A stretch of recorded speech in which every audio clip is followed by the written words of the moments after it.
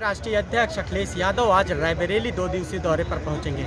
रायबरेली में छह विधानसभा में जनसभा को संबोधित करेंगे। सबसे पहले बछरावा विधानसभा में पहुँचेंगे और उनको आने को लेकर के यहाँ पे जन सैलाब उमड़ा है। आप देख सकते हैं हमारे पीछे कि इस प्रकार यहाँ पे समाजवादी पार्टी के जो लोग हैं, समाजवादी के नेता हैं, वो यहाँ पे मौजूद हैं। लगातार जनसभा को सुनने के लिए यहाँ पे लोग पहुँच रहे हैं। हमारे साथ बातचीत करने के लिए बछरावा से पूर्व विधायक रामलाल अकेला इनसे हम जानते हैं कि आखिर आज उनके आगमन को लेकर के किन प्रकार की तैयारियाँ बछरावा विधानसभा में की गई। विधायक जी, आज क्या तैयारियाँ हैं यहाँ पे? वि- मंत्री- पूर्व मुख्यमंत्री के आने को लेकर? देखिए, पूरे उत्तर प्रदेश का नौजवान माननीय अखिलेश यादव के पीछे दीवाना है और ये परम सौभाग्य की बात है कि आज रायबरेली की महत्वपूर्ण धरती और बछरावा की सरजमी पर हमारे राष्ट्रीय अध्यक्ष माननीय अखिलेश यादव जी पधार रहे हैं और पूरे विधानसभा क्षेत्र का नौजवान किसान पूरी तरीके से अपने रहकर अपने नेता के स्वागत के लिए उमड़ रहा है और पूरे क्षेत्र के कोने कोने से बहुत बड़ा जनसैलाब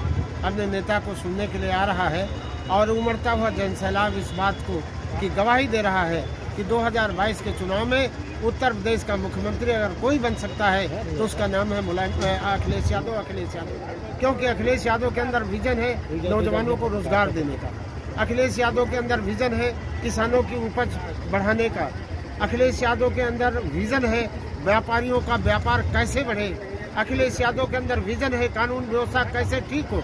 तो सारी जात बिरादरी धर्म मज़हब के बंधनों को तोड़कर सर्वहारा के हितों की अगर आज कोई बात करने वाला है तो उस नौजवान नेता का नाम है अखिलेश यादव। इसलिए आज पूरा उत्तर प्रदेश अखिलेश यादव के नाम पर उमड़ रहा है और बछरावा की धरती पर आज जब माननीय हमारे नेताजी आएँगे तो ऐतिहासिक होगा, देखने के लायक होगा।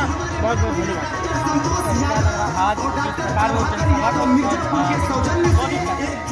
प्रकार लोगों का उनके प्रति उमंग रहेगा किस प्रकार की? देखिए एक एक शब्द अपने नेता की जबान से जनता नौजवान सुनना चाहता है कि वो क्या संदेश हमको देना चाहते हैं और उनका एक ही संदेश होता है और क्या संदेश यहाँ देंगे।